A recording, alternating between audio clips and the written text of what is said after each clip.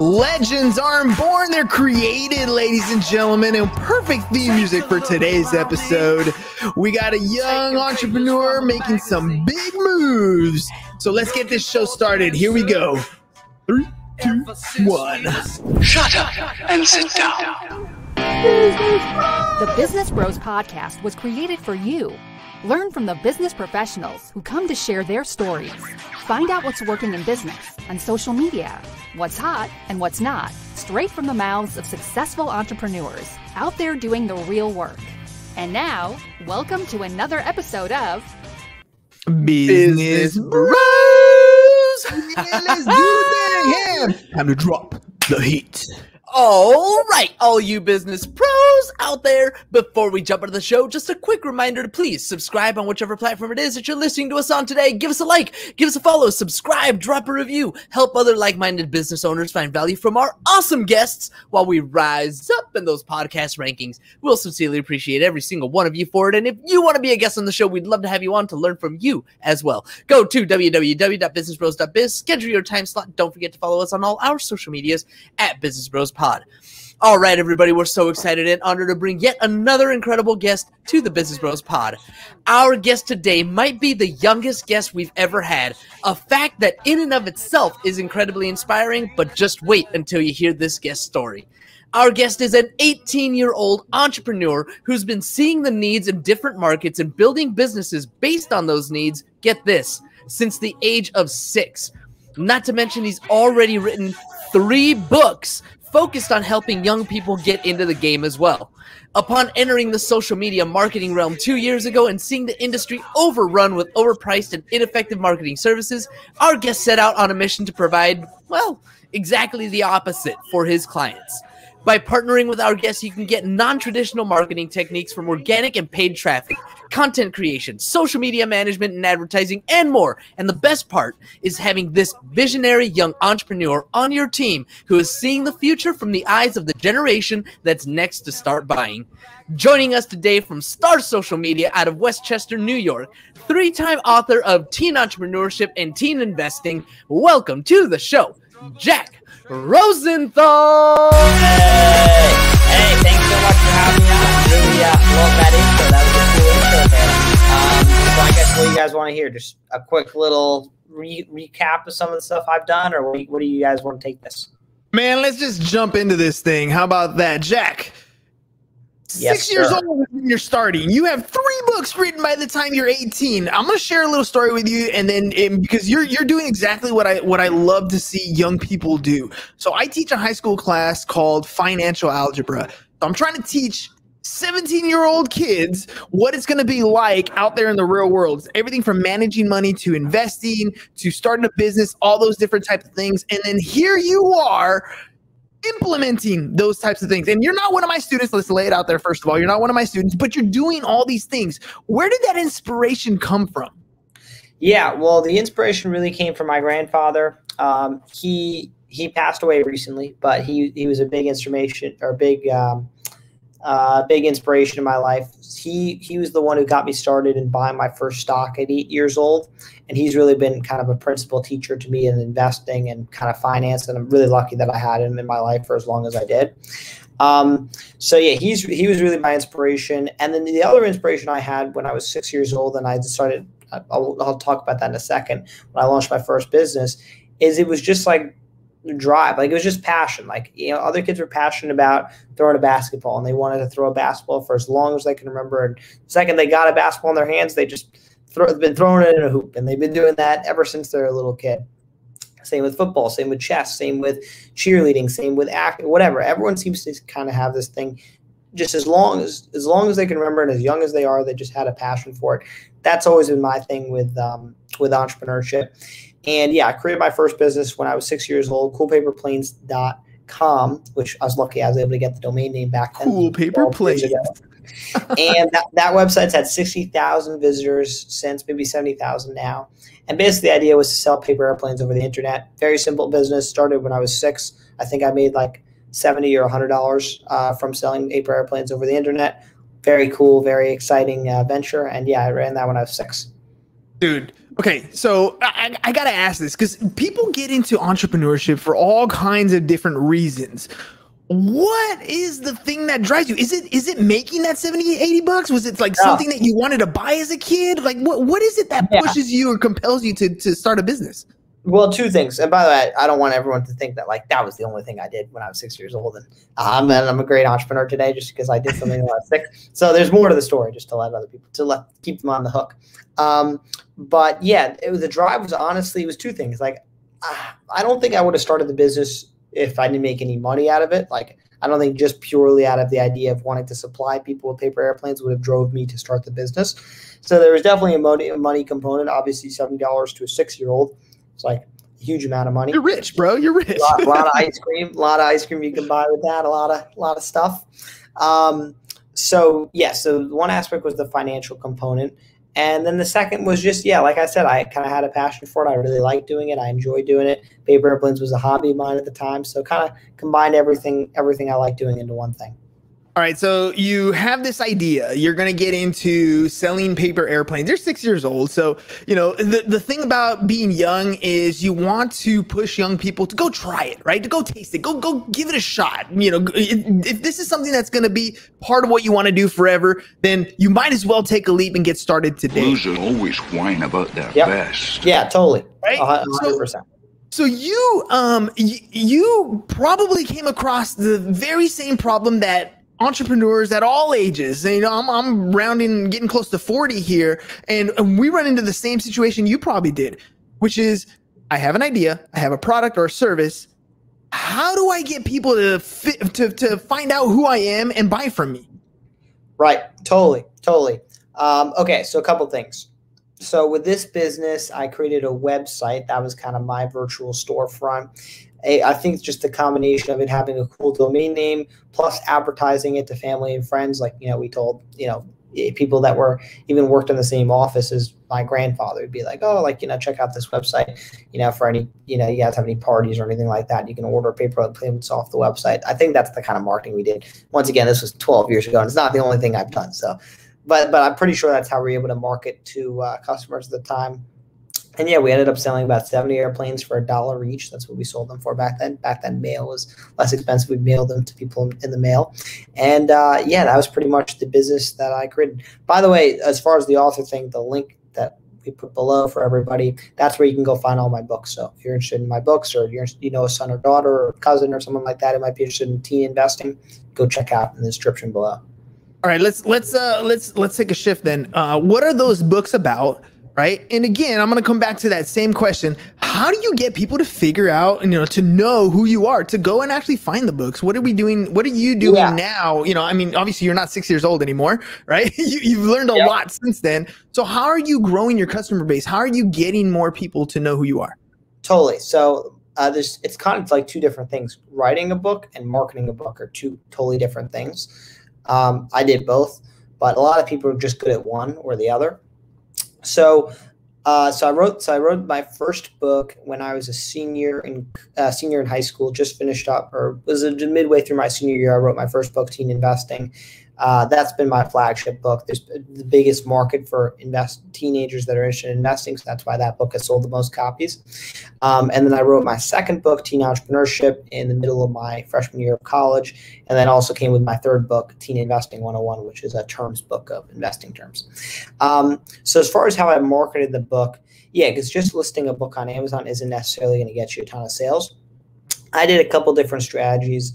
Um, the first one is obviously family and friends. I mean, that's just like a great way to get a 20, 30 easy sales right there. Plus, you get some reviews on Amazon, which is really instrumental for marketing the book. Like, no one's going to buy a book that doesn't have like at least 10 reviews or something on the book. So, getting those initial family and friends reviews is really helpful. And, and honestly, if, if you're a starter author, I'd recommend just giving away 10 copies just to get the reviews.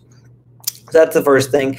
Second, I did is I went on a, some podcasts uh, to promote my book and my brand, my personal brand, and the book. Um, so that drove some traffic to the Amazon.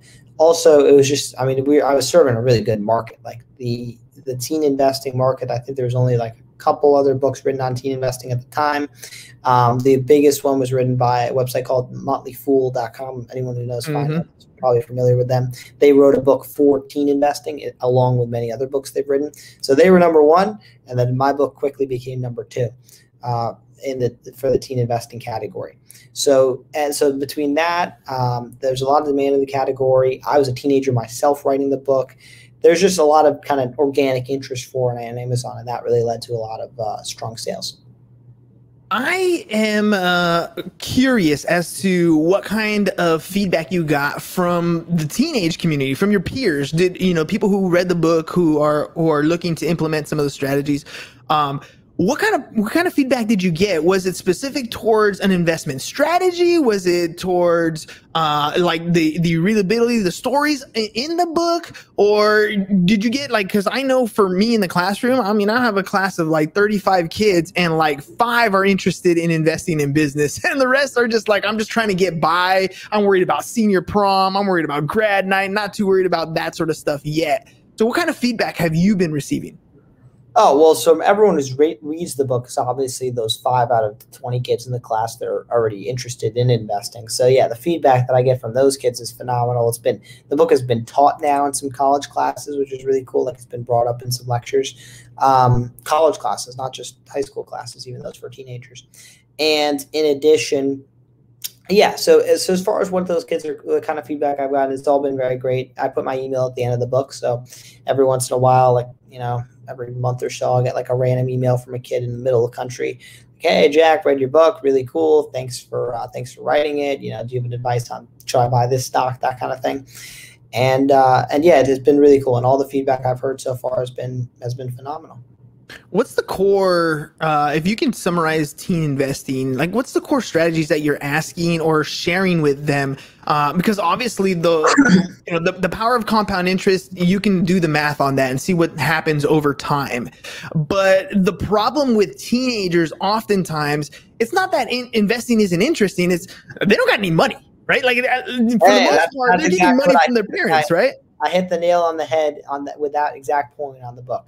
You know, the biggest thing teenagers want to try and invest like hundred dollars. I'm like, dude, it, don't waste your time trying to invest hundred dollars. Like the processing fees on the account alone will like just kill you. Like, what are you gonna do? You're gonna invest hundred dollars and earn ten dollars a year. Even for a teenager, ten dollars a year, a dollar a month is is not a lot of money. So so yeah, that's why in the book I kind of give I give 11 examples of ways first you can earn money, and I say your first goal in life is the first thing you should do before you start your investment portfolio is bank your first five thousand dollars. I know to a teenager it's like, oh, that's a lot of money. But if you really break it down, it's not very out of reach for a teenager. If you work a summer job at about ten to fifteen dollars an hour, and you work, I don't know, five days a week, and you're working, I don't know, let's say 20 to 40 hours per week at a summer job, which what else are you doing at the summer? Not much. I know I'm a teenager.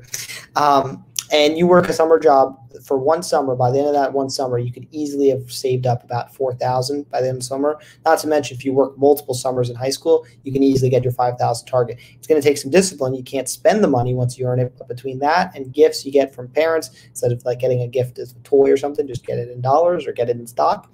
And within no time, you'll have a portfolio, you'll have a dollar amount of $5,000 saved up. And then you should go and invest it. And then I talk about some different strategies you can take in investing it in the book. And that's really the plan that I give for every teenager in America to build a very strong investment portfolio by the time they're 30. You said 11 ways to generate income as a teenager, right? Yep. Let's go into some details on that because honestly, you can help me out a little bit. I'm about to start class here in July with a new batch of seniors, and if we can, you know, if you can help me come up with stuff, you know, from a from a teenager's point of view, what I can do to help get these kids to the point where they're earning some income. Uh, because I, I, for me, that's that's awesome. Like I, I start every single year almost the same way. I'm like, look, the things we're going to do in this class are applicable to life today. You can go out and use these skills to go out and make money. My goal is that your senior year costs you nothing out of pocket because you generated the revenue in class. So if you can help me out with some ideas in generating revenue for a 17 year old, dude, I'd be eternally grateful.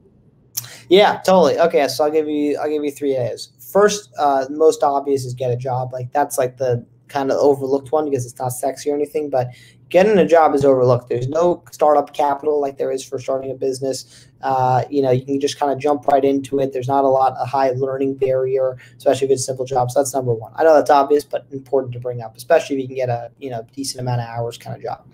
Number two, this is one that I've done before. Start a vending machine route. Very cool business. Uh, gets everyone's excited, everyone's attention. The idea of owning like a little money box that you can just get money from every week. Who's who's not going to get excited about that? I know a lot of Mhm. adults that get excited about that.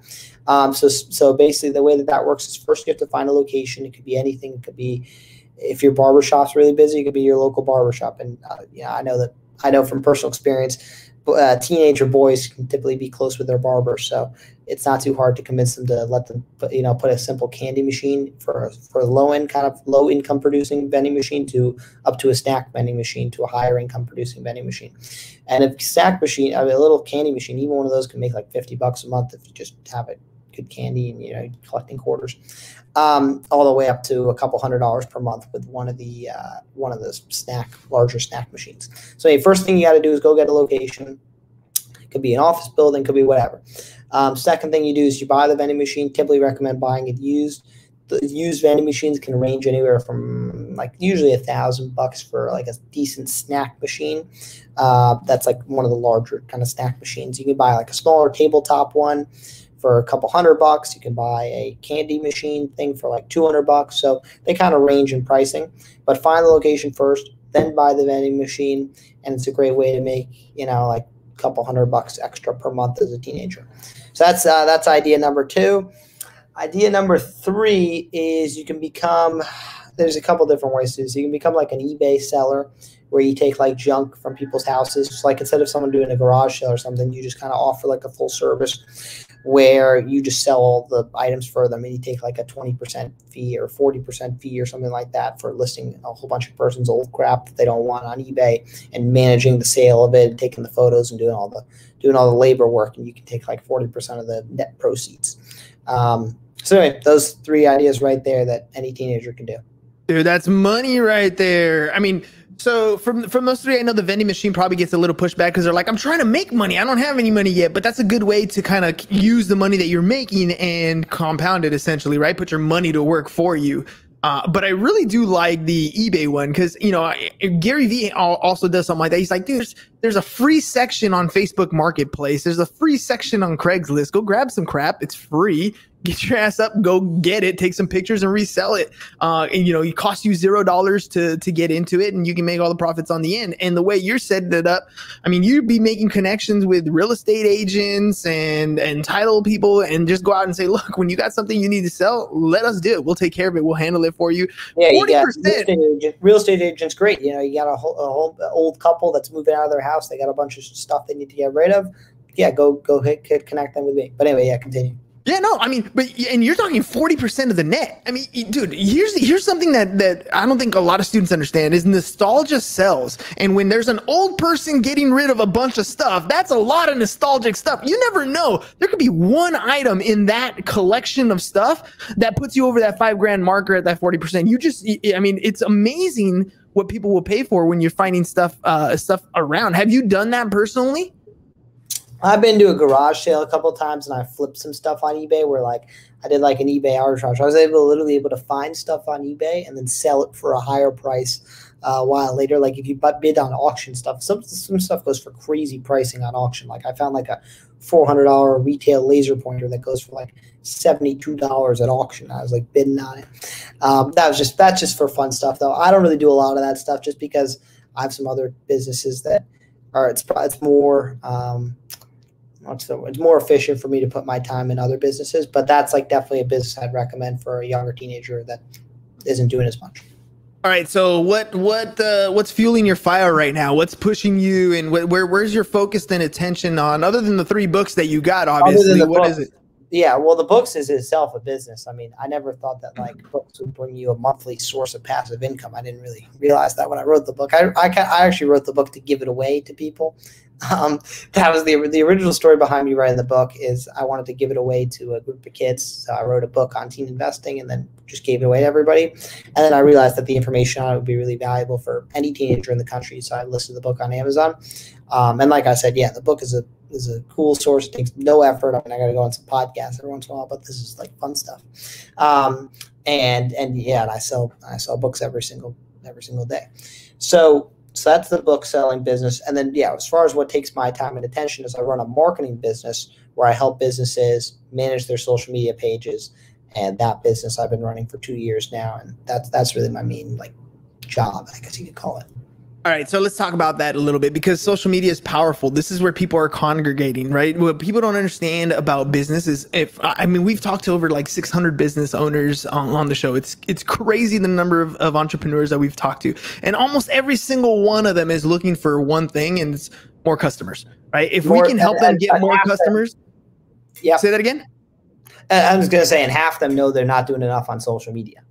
Yes, exactly, exactly. And how do we get customers? We we basically put up a sign that says, "Hey, I'm doing business. Do you need this particular product or service?" The key is where do I put that sign? I want to put it in front of the the people that are that I'm willing to do business with, that people that are willing to do business with me, that know, like, and trust me. How you know? Explain to me how social media is creating more business for your clients. Okay, gotcha. All right. So first of all, it's a little bit about the clients. So basically, what I found is like a gap in the market where there's your typical. I haven't served a particular kind of client with this exact demographic, but like this is a great example of a type of client. So like it's an 80 year old guy. He owns a meat shop. He doesn't know anything about social media. He knows that the meat shop, you know, in the other town is on social media, and that's helping their business a lot. He knows he needs to get on it. He doesn't understand it at all. He doesn't want to pay a full time person to do social media because his business isn't big enough. Um, but he likes the idea of hiring a smart young kid to go over and take over his social media and do it for him for a monthly fee. And that's basically the the um, the market that, that I tapped into and served. So yes, that, that's basically the type of customer that we're dealing with. Okay, so as far as how it's helping them, so let's say it's like let's say it's that meat shop business, for example. If they have no social media presence, just creating one, I mean, that just does a whole bunch of things. Like one, people are finding them, their customer, their existing customer base is following them on Instagram, so they're more likely to kind of resonate more with a brand if they see a new item that they might not have seen because they're not on like email list or there is no email list or anything like that, and they see posts on social media, they're likely to come in and get it in the store. It's kind of like an ad. However, the great thing about social media is you can kind of keep posting ads over and over again for free if you have a large enough following on Instagram. Um, and like for something like a restaurant, it's not doesn't even look like an ad. If you just post a picture of some food, no one even thinks of it as like, oh, this restaurant's trying to sell me the picture of the food. But really, that's all they're trying to do. It just kind of looks cool. Um, so anyway, like let's say let's say with a meat shop, you post pictures of meat every single day, gets like the latest meat in front of the, your, all your customers. So they're more likely to come in, or they're going to come in if they see a picture of meat they like. That's number one. And then number two is discoverability. So let's say someone's just hopping around on social media, whatever's going through their Instagram feed. They've actually been looking for some, you know, local delicacy, local, you know, special kind of meat that they're like. They go on Instagram, they see all the different meats that the shop offers. They think, hey, I got to go in and try to shop that, try that shop one day, and that's pretty much how it helps the business. All right, so that's social media, uh, and I think you mentioned that you also do paid ads after that, right? So Yeah, yeah, how- okay. yeah, these things they work together, right? So it- it- it's one thing to have on social media; it's another thing to do paid ads. Why take the leap from social media to paid ads? Very simple, like scalable. You you can only scale so much organically.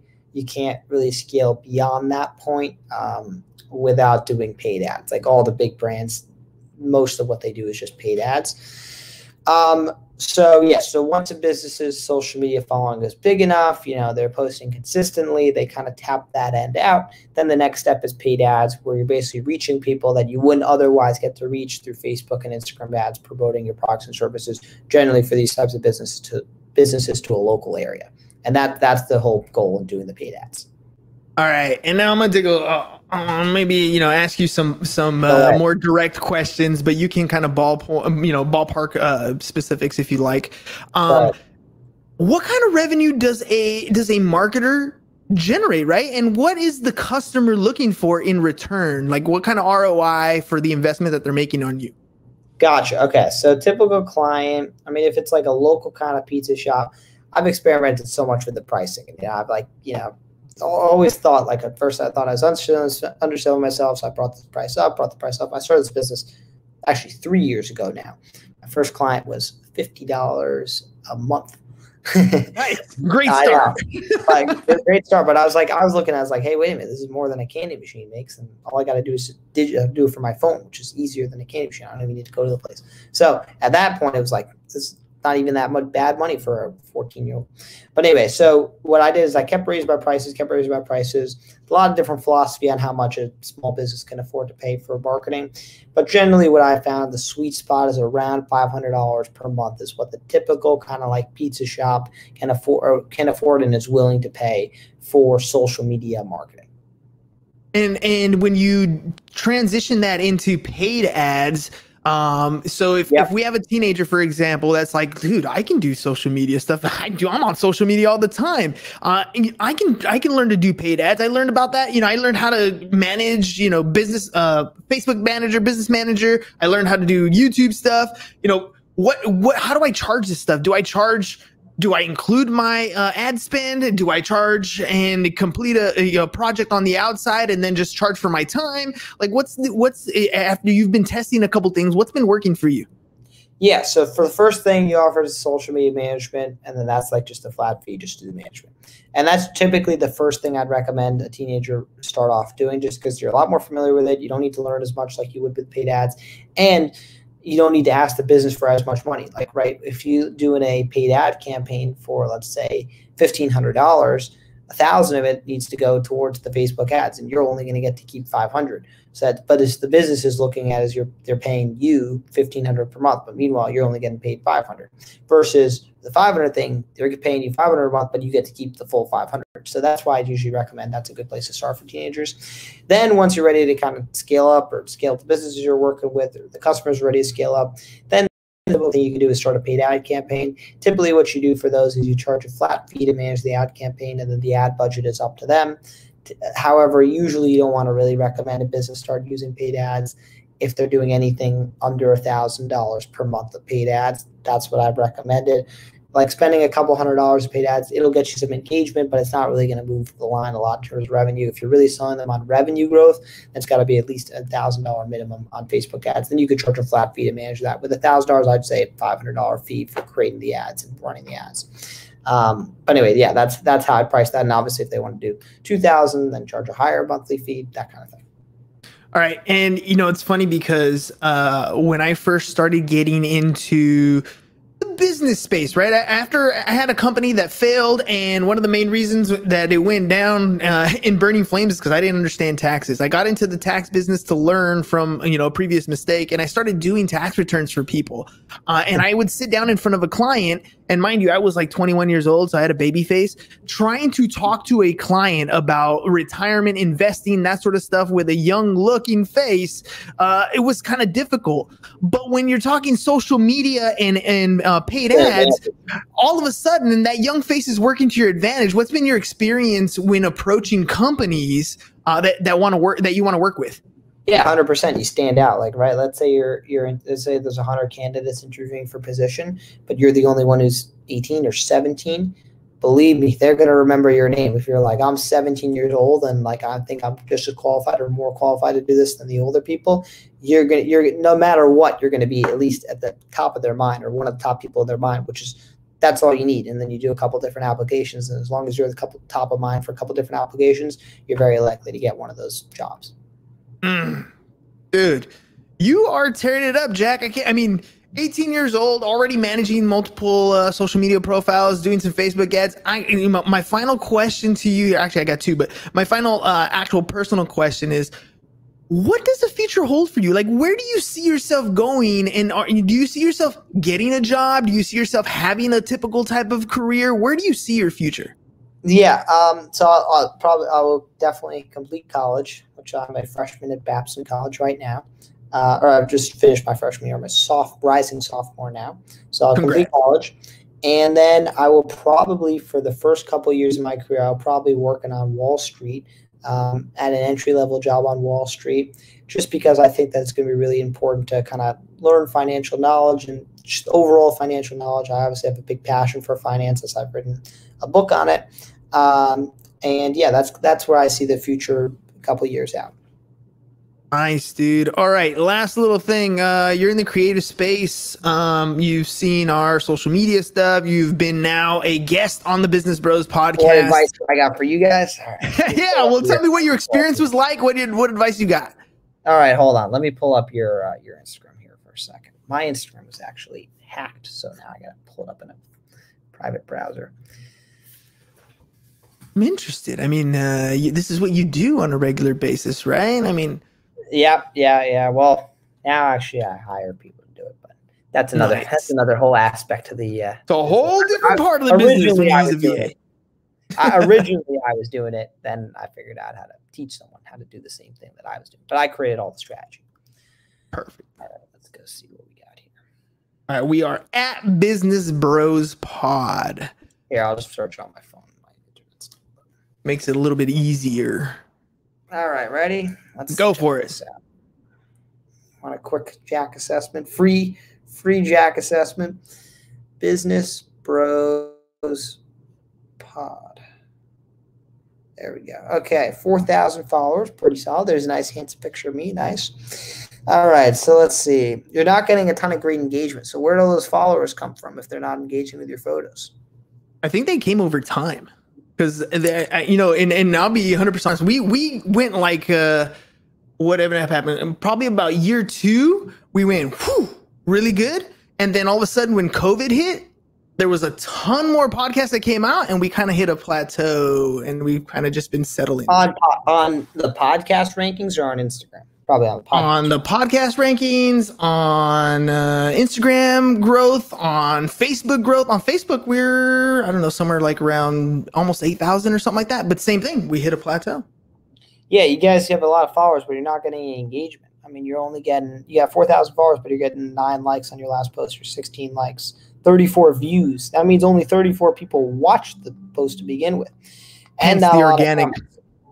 Yeah. So okay, okay. So a couple things here. Um, in order to get your engagement back, I would say you guys should start doing definitely some collabs with other podcasts. I actually see that as a great angle for you guys. I think like doing some collabs, especially on social media with some other podcasts, trying to get them to first of all comment on your photos and you comment on their photos. Number one, so kind of create like your own little engagement group. Post stories about them, have them post stories about you. Like when their podcast comes out, post some stories about them. When your podcast comes out, they'll post some stories about you, get you guys some extra views. You'll all collaborate and grow together. Comment on each other's posts. That way your followers will see that they commented on yours and vice versa. Same thing with Facebook if you want to grow that.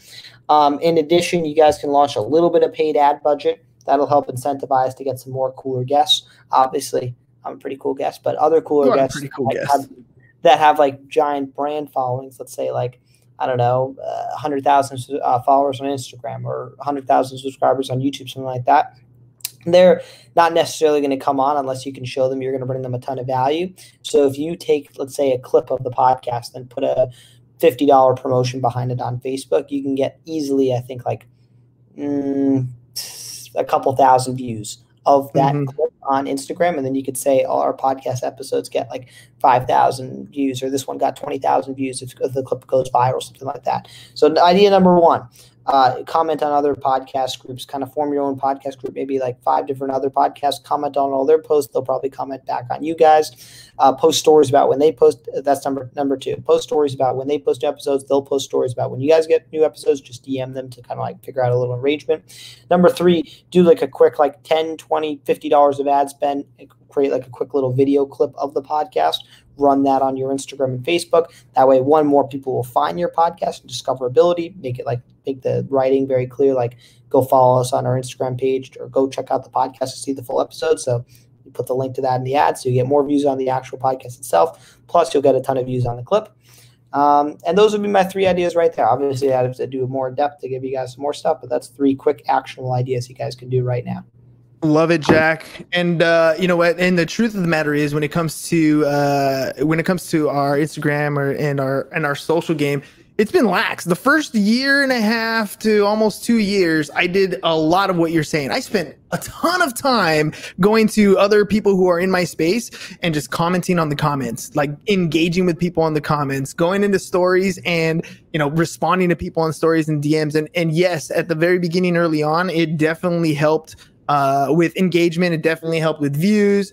But it is a full time job. It is something that people are you got to continue to do on a regular basis. And the ad spend, that is on its way here very soon. Jack, thank you very much for being on the program, dude. I mean, very insightful and super impressive at 18 where you're at already in your life. Uh, before we head out, can you tell people the title of the three books? How can they find them? How can they get a hold of you?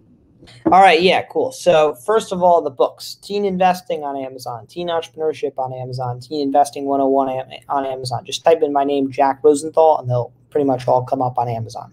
Just type it in the search bar. Um, second, if you guys want to follow me on YouTube, which I have 500 subscribers and counting, you guys can go follow my YouTube channel, Jimmy Duke, on YouTube.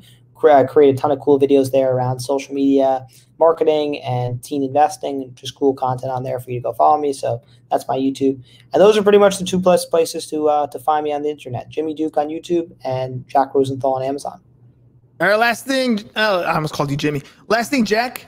Um, what was your experience like, like on our podcast? You've been on a number of different podcasts. How'd you feel about ours? Oh, yours was cool. You guys got a lot of energy. I like that little intro music in the beginning. I've never seen like a custom intro music to the guest. I thought that was really cool. Um, yeah, so overall, I really like the experience. For, for also a good amount of time as well. Not too long, not too short. Not too long, not too short. Straight to the point. Ladies and gentlemen, go check out Jack. I mean, 18 years old, wrote three books, started his first business at six years old. I thought I was cool. This dude is on fire and he's just getting started.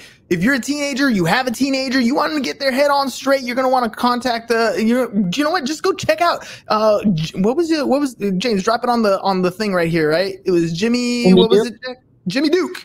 There you go. Jimmy Duke on YouTube. Go learn a little something, implement a little something, try a little something. You never know. You have your phone on you, teenagers, right? Or parents, you have a phone on there. I just want to get them in a position where they can at least pay for their own cell phone. Give them the opportunity to succeed. Jack's doing that by writing the books and sharing it with everybody coming on the show today. Jack, thank you very much for being on the podcast today. Thanks so much for having me on. All right, ladies and gents, we'll see you guys manana. Peace out, y'all. Have a great rest of your Monday, Tuesday, Tuesday.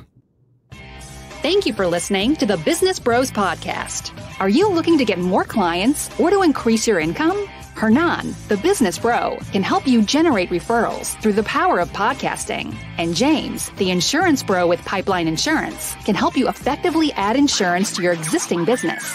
If you are ready to create wealth today and generational wealth for tomorrow, email businessbros at csfirst.com to schedule a free consultation or join the Business Bros Network, www.businessbros.biz.